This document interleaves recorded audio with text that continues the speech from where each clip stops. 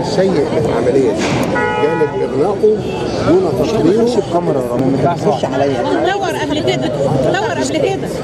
دور وما مفيش تدهور للأسوأ هو مش إحنا الكافيهات بتوصل لنا الباب الأسانسير جوه العمارة عشان مش لاقيين عليهم يضيعوا مساحة ما يستفيدوش بيها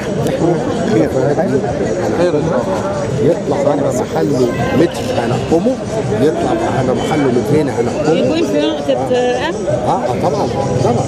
في أمن المكان ده مكان أمنوا لنا الشارع.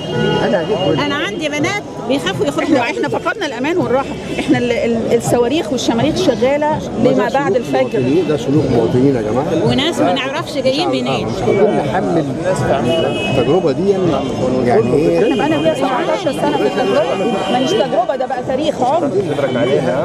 أنا بفتح صدري ملهاش علاقة بيها. لا بفتح صدري يا فندم المخابرات بقت موجودة في الشارع ماشي ده ده, الأخلاق السيئة علاقة بإيه؟ الملاهي الليلية؟ لها علاقة بإيه؟ لها علاقة بسوء سلوك بعض الشباب. لكن ملهاش علاقة باللي إحنا عاوزين نعمله. إحنا مش بس عارفين البلد في فتره حرجه هل هيقدر؟ يحصل كنترول عشان البلد في فتره. حرجة؟ جايين منين؟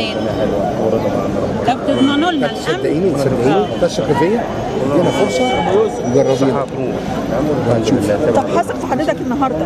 حثق في اللي هيجي بعد كده إزاي؟ ما هو حضرتك يعني لا أنا مخلده ولا حضرتك مخلد والوعد اللي وعدناه من 17 سنة وتحول إلى كابوس مش حلم كابوس.